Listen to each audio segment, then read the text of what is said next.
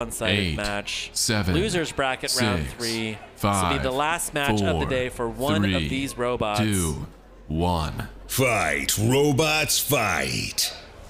Tryhard up to speed. Rumham up to speed. Oh, Big Oof. hits. Two horizontal, powerful horizontal spinners. You're going to see some massive hits in this fight.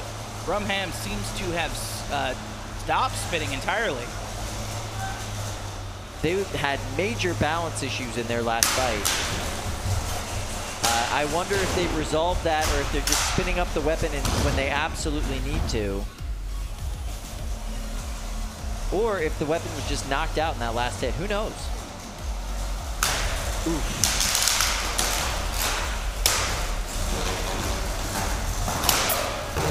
Nice job from Rumham there, acting as a wedge, shoving uh, Tryhard onto its side. Oh! And you can see that armor just peeling away on Rumham on that right side there.